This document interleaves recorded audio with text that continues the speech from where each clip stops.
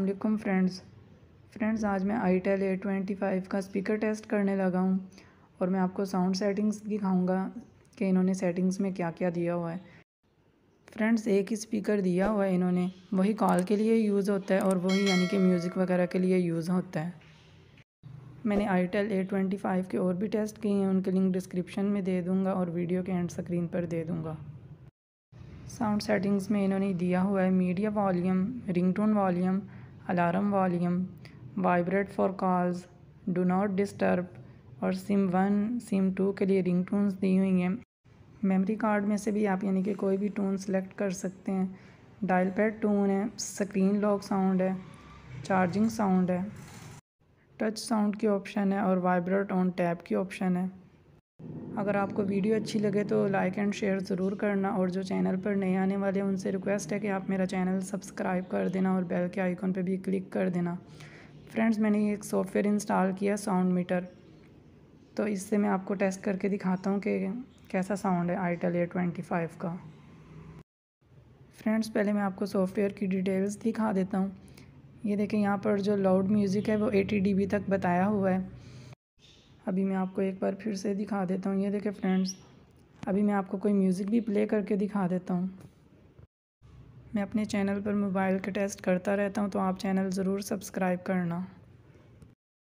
कम price में बहुत अच्छा मोबाइल है फ्रेंड्स।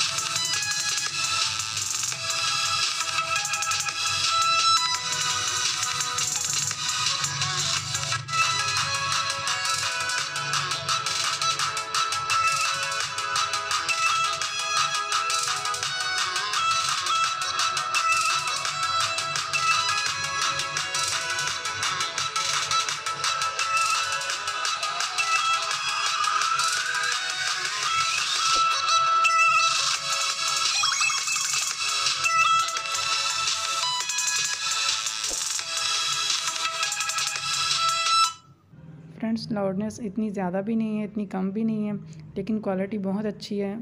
आवाज़ इतनी कम भी नहीं है, इतनी ज़्यादा भी नहीं है, नॉर्मल है।